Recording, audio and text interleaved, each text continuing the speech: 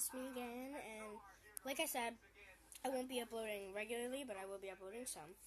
And I just wanted to show you guys this. My mom found it in our basement. It's my bowling pin from my birthday. I was, I believe, what, five. Oh, it's, yep, perfect, just great. Um, yeah, I just wanted to show you guys this because I was really excited to find it. And a few other things I also want to show you. So, yeah. I don't know who half these people are anymore, and that's one of the downsides. When you find, you know, birthday stuff that your friends signed, and you don't know who half of them are. Or all of them. I know Brace, and Bryson, whatever. Ava, still know her. Oh, crap. Yes, this is it. That's just one thing I wanted to show you. Now I have a few other things I want to show you. Oh god, what is it?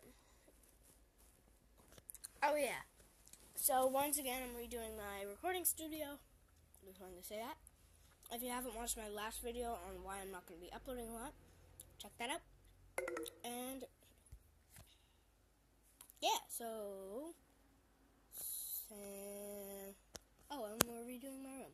So thank you guys for watching, and I'll see you guys next time. I know this wasn't much of a vlog. Just wanted to show you guys this. So, bye-bye.